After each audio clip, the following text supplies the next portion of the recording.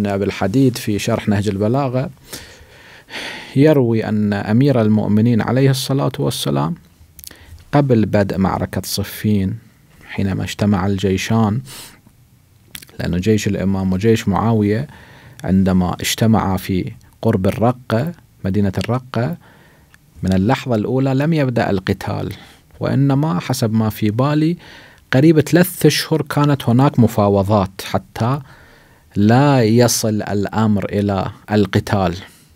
على كل حال فأمير المؤمنين عندما رأى رايات جيش الشام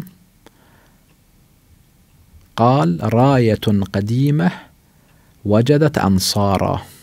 ما معناه راية قديمة شنو؟ هي نفس الراية اللي رفعت بوجه رسول الله صلى الله عليه وآله وفي قتاله في يوم بدر ويوم أحد.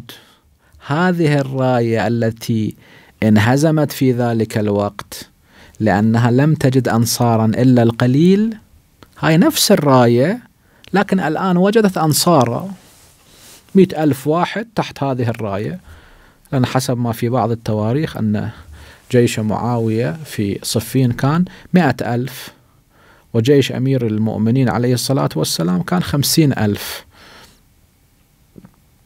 راية قديمة وجدت أنصارا. ولذا الرسول صلى الله عليه وآله قال لعلي عليه السلام أقاتلهم تقاتلهم على التأويل كما قاتلتهم على التنزيل.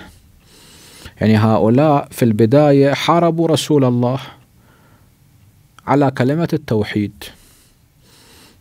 على نبوة محمد كانوا ينكرون ذلك. لكن لما أظهروا الإسلام نفاقا هؤلاء ذهبوا إلى مصالحهم فأمير المؤمنين قاتلهم لا على التنزيل لأنهم كانوا يتشهدون الشهادتين في الظاهر وكانوا يصلون في الظاهر يلتزمون بالعبادات في الظاهر لأن المنافق هكذا إذا جاءك المنافقون قالوا نشهد إنك لرسول الله. والله يعلم إنك لرسوله. والله يشهد إن المنافقين لكاذبون.